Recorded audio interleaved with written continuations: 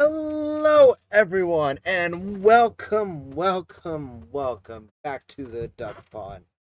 For those new to the channel, what we do is we play a game throughout the week. Um, try to beat it throughout the week. If we don't beat it, we'll still do a review on it. Well, at the end of the week, we review the game we did on, going over um, the basic story, the gameplay, and how well it's aged.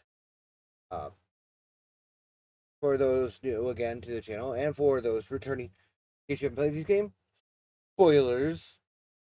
And without further ado let's rip and tear into our review of doom 2016 now basic plot of the game. You're awakened on mars. Come out of a coffin. Right away there's all there's already some demon things there jump out, grab your pistol, boom, boom, boom, start shooting, right? Wake up. The facility. You, you find out while you're in this facility that there's this lady named. So what this company has been doing, taking demonic energies, Team World, Argent Energy is what it's called, and they were using it to create like more energy, more substantial energy for the human race. Um, unfortunately, um, that comes influencing of demons and Olivia Pierce, who is a lady in the game and like she's one of the higher scientists. She lets she um eh, she's been corrupted by it. Now she's wanting to open a hell portal that the demons take over the uh, take over Mars. So your whole thing is about like pretty much like you have got to get to her. Gotta stop this hell portal from opening. Spoiler, it opens anyway. And then you have to close it. So you have to go through all that fun. Get closing. So it's basically a Doom sort of like again. This guy called you're known as the Doomslayer. And go kill demons typical Doom plot line story, all that. Now, that's just the basic story. You go into the gameplay. Gameplay acts as a it's a first person shooter.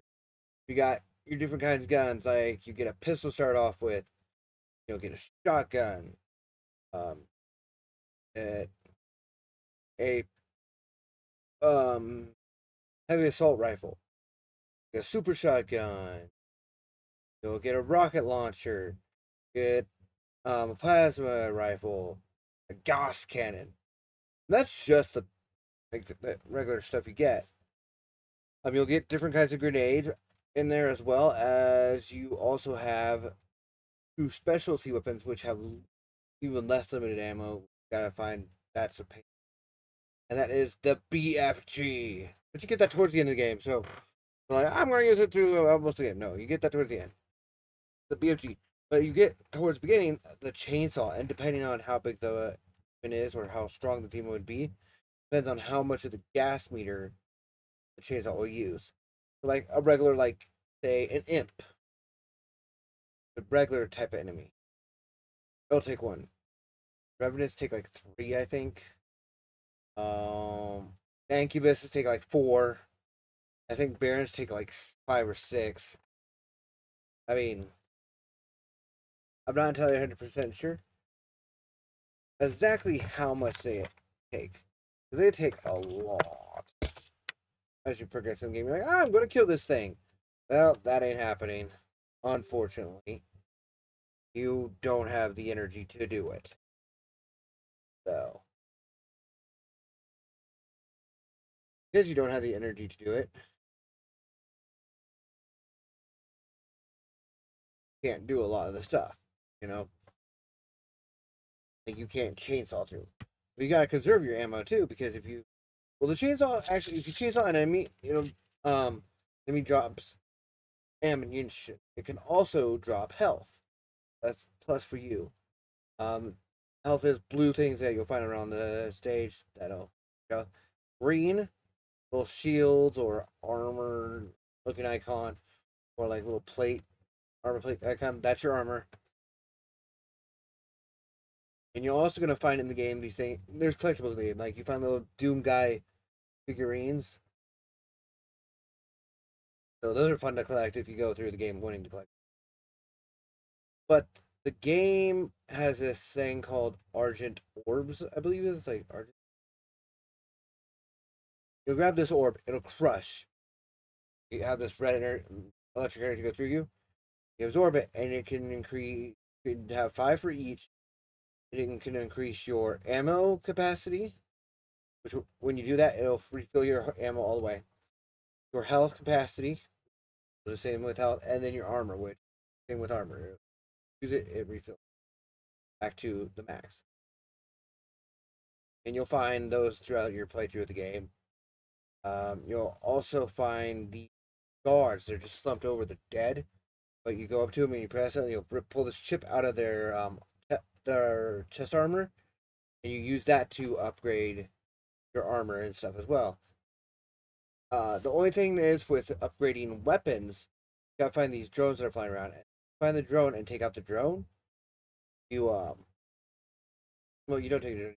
Go up to press R, and it's like rip whatever it has. You can punch it, and that gives you an upgrade to your weapon of choice. And you'll earn points from doing missions or from combat. And the more um, tokens you get of those, the more you can upgrade your weapons on extras. Uh, like I said, it is a very much first person game. Gonna go through there, you're gonna shoot, you're gonna chainsaw, to punch people, punch them, punch them. Would not recommend it. You're gonna die quick. All you do is like, I'm just gonna punch these things. You're probably gonna die. Unless you get the power ups, which have a that has a time limit. There is different power ups. There's an invulnerability. There's a times your damage before, just called quad damage. Um, haste, which will make you faster, and then there's berserker, where you just go into straight punch mode, and you, what it doesn't matter how tough the enemy is, you're one shotting these. You are one shotting like as hell. Aha! I'm gonna kill you. Punch, and it's dead. That simple gameplay. How it aged from 2016 to now. Weirdly enough, I could still see this kind of game coming out nowadays. And this was a PS4 game, but I can or Xbox One game. I could see this coming out now. Maybe a smidge better graphics if it was brought out now, but still roughly around this time frame. I could see. That's just on the graphics though. The animations. The enemies have some interesting animations. Fun ones too. Like you see the imps and the imps are just like, no. With that, the not AI attendant doesn't learn how you fight, how they move depending on where you are on the map currently. That is um a really good thing. A really good that is that aged real well. Animation's looking good. The music, oh, the music, so good when you're in combat, like the music amps up, wanting you to ramp up. It wants you to.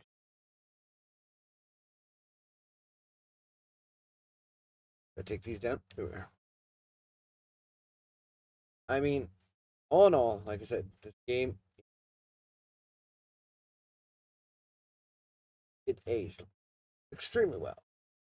Music, sound, like I'll take that as way those sound of music. Like music is like your soundtrack. Going on. Sound is like okay, the walking sound or talking of the gun sound. Again, the explosion. Like that's different. Those worked out real well too. Graphics amazing. For its time, for 2016, it's still amazing. And that's only seven years ago.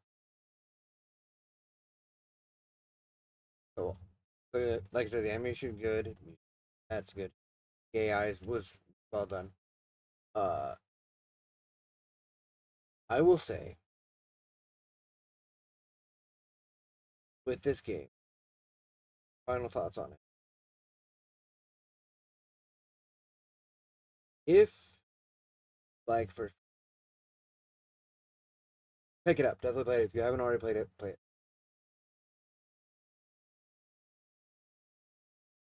You're only gonna probably play this the regular story mode because there is a multiplayer mode. But when I tried to load that up, I was waiting and nothing was popping up. If I moved on from the multiplayer that game. but I would say give it a go. You'll you're not the biggest fan of FPSs, but you still don't mind them, go for it. The outright high first person shooters, do not play. But I would still recommend this game to anyone. And with that, that'll complete our review. Except for the one thing is, we got to spin a wheel. So let's spin that wheel. And let me give you some information on this game we're playing.